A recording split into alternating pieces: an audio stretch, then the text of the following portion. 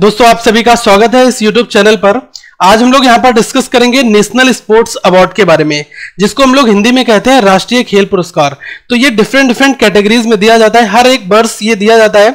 और यहाँ पर आपसे क्वेश्चन ऐसा पूछा जाएगा कि राजीव गांधी खेल रत्न अवार्ड जो है, ये इस वर्ष किसको दिया गया, या इस स्पोर्ट्स पर्सन को दिया गया, ये कौन से खेल से बिलोंग करते हैं? तो ये चीज़ें आपको देखनी होंगी। तो इनका जो नॉमिनेशन है, ये बीस सेप्टेम्बर दो को हुआ। और ये जो है राष्ट्रपति भवन में दिए जाते हैं तो हम इनको यहाँ पर एक एक करके नोट करते हैं इंपॉर्टेंट पॉइंट्स यहाँ पर। तो सबसे पहले हम ये देखते हैं कि जो नेशनल स्पोर्ट्स अवार्ड है, ये हर एक वर्ष एवरी ईयर दिए जाते हैं। और जिन लोगों का स्पोर्ट्स में बहुत अच्छा योगदान रहता है तो उनके लिए एक रिवॉर्ड एक्सीलेंस के तौर पर जो है, ये दिया जाता है। पहला आपको यहाँ पर देखना होगा, राजीव गांधी खेल रत्न अवार्ड। ये इस बार दो लोगों को दिया जा रहा है और ये दिया जाता है किस फ़ील्ड में? जैसे कि स्पेकुलर और मोस्ट आउटस्टैंडिंग परफॉर्मेंस होती है किसी भी स्पोर्ट्स पर्सन की, ठीक है? जो कि over the period of four years चार वर्षों में देखा जाता है इसको। तो इस श्रेणी में जो लोग आते हैं, उनको यहाँ पर राजीव गांधी खेल रत्न अवार्ड से नवाजा जाता है। अर्जुन अवार्ड अर्जुन अवार्ड जो है, ये दिया जाता है outstanding performance for the four years ठीक है?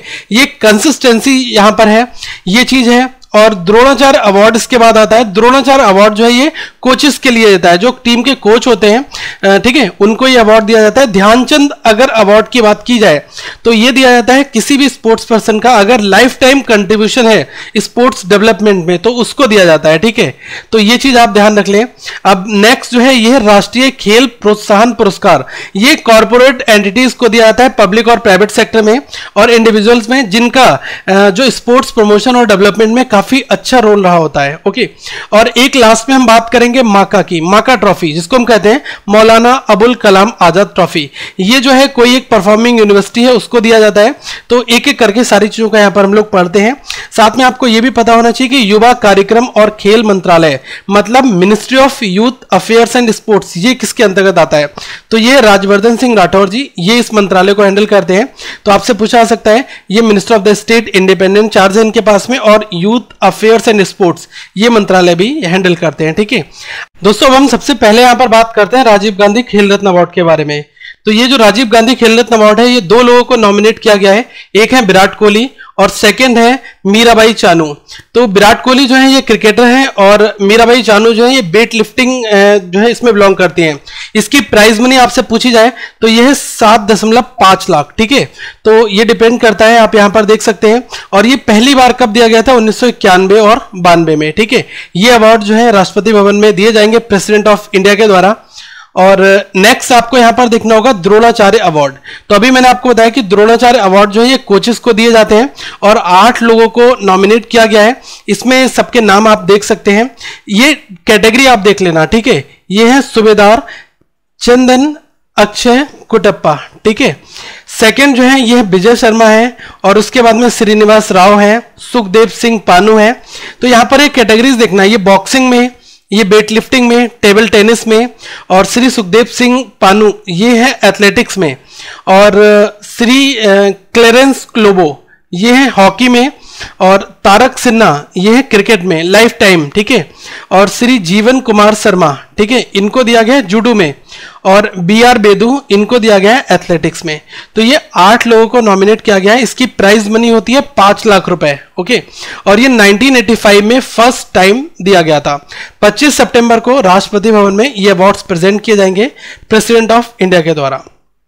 नेक्स्ट यहाँ पर अब हम देखते हैं अर्जुन अवार्ड्स के बारे में। इसमें दोस्तों 20 लोगों को नॉमिनेट किया गया है। तो यहाँ से केवल आपको यह देखना है कि जो पर्सन है और वो किस कैटेगरी से बिलोंग करते हैं, ठीक है? तो 10 लोग यहाँ पर डिस्प्ले हैं। सेकंड 10 की नेक्स्ट पर बात करेंगे। तो यह नीरज चोपड़ा एथलेटिक्स में, यहाँ पर तीन लोग हैं एथलेटिक्स में। तो तीन लोग एथलेटिक्स में तो आप ऐसे यहाँ पर याद कर लेना। नीरज चोपड़ा, सुबेदार जिनसन जॉनसन और हिमा दास, ठीक है? तो ये तीन लोग एथलेटिक्स में हो गए, फिर एक लोग हैं बैडमिंटन में। ये है नीला कुर्ती सिकी रेड्डी, ठीक है? नेक्स्ट जो है, सूबेदार सतीश कुमार, ये है बॉक्सिंग में। फिर क्रिकेट में जो है, स्मृति मंदाना, इनको जो है, इसमें नॉमिनेट किया गया है। और नेक्स्ट गोल्फ में अगर आप ये देखोगे तो ये है शुभांकर शर्मा, इनको गोल्फ में नॉमिनेट किया गया है। और मनप्रीत सिंह और कभी सबिता, इन दो लोगों को दिया जा रहा है हॉकी में, ठीक है? और पोलो में इकलौते स्पोर्ट्स पर्सन है। ये है रवि राठौर, ठीक है? तो आपसे ये पूछा सकता है कि इस बार अर्जुन अवार्ड जो है, ये पोलो में किस पर्सन को दिया गया? तो जो यूनिक वाले हैं, इनको पहले आप याद कर लो, ऐसे क्वेश्चन पूछाएगा अब तीन लोगों एथलेटिक्स में दिया गया तो यहाँ से चांसेस कम है, लेकिन जो सिंगल वाले हैं, उनसे आपको यहाँ पर देखना पड़ेगा, ठीक है? आगे अगर हम बात करें तो शूटिंग में भी तीन लोग हैं। शूटिंग में कौन कौन है? राही सरोन अंकुर मित्तल और श्रेयासी सिंह, ठीक है? इनको जो है शूटिंग में दिया गया है। शूटिंग में तीन लोग हैं यहाँ पर। अगर हम टेबल टेनिस की बात करें तो यहाँ पर ये दो लोग हैं, जिसमें है मनिका बत्रा और जी शतियन। इनको टेबल टेनिस में, और अगर टेनिस की बात की जाए तो ये रोहन बोपन्ना, ठीक है? रेसलिंग की अगर बात की जाए तो सुमित को मिला है और वुशु की अगर बात की जाए तो यह पूजा कैडन, ठीक है? और पैरा एथलेटिक्स और पैरा बैडमिंटन में अंकुर और मनोज, ठीक है? इन दो लोगों को दिया गया है। तो ये जो यूनिक कैटेगरीज हैं, इनको एक बार ज़रूर आप देख कर जाना, ठीक है? आपको आगे हम बताना चाहेंगे कि ध्यानचंद अवार्ड जो है, ये क्या होता है और इसके लिए चार लोगों को नॉमिनेट किया गया है। इसकी जो प्राइज मनी है, ये है पाँच लाख, ठीक है? तो ऐसा आपसे पूछा जा सकता है। और यहाँ पर अगर अवार्डी की बात करें तो ये जो चार लोग हैं, इसमें है सत्यदेव प्रसाद, भारत कुमार छेत्री और बॉबी एलोइसिस और ये है चॉकलेट एंड दत्रे ठीक है? ये रेसलिंग में है। रेसलिंग एथलेटिक्स हॉकी और आर्चरी ठीक है? तो ये डिफरेंट डिफरेंट कैटेगरीज में अवार्ड इनको दिया गया। और अगर आपसे पूछा कि पहली बार फ़र्स्ट विनर कौन थे? ध्यानचंद अवार्ड के।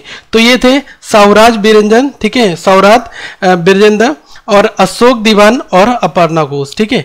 तो ये पूछा सकता है कि फ़र्स्ट बिनर पहले कौन थे? अभी करंट बिनर आपके कौन है? तो ये आपसे पूछा यहाँ पर जा सकता है।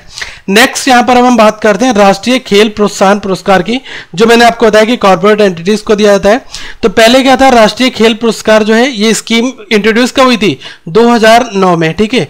जिसमें क्या है कि बहुत सारे कॉर्पोरेट एंटिटीज को इन्वॉल्व किया जाए, जिससे कि स्पोर्ट्स का डेवलपमेंट जो है और ज़्यादा बड़े लेवल पर हो पाए। तो इसमें फ़र्स्ट सेकंड थर्ड की हम बात करेंगे। फ़र्स्ट में जो कैटेगरी है, वो है identification and nurturing of budding and young talent तो ये किसको दिया गया है? ये एंटिटी का नाम है राष्ट्रीय इस्पात निगम लिमिटेड इसको दिया गया।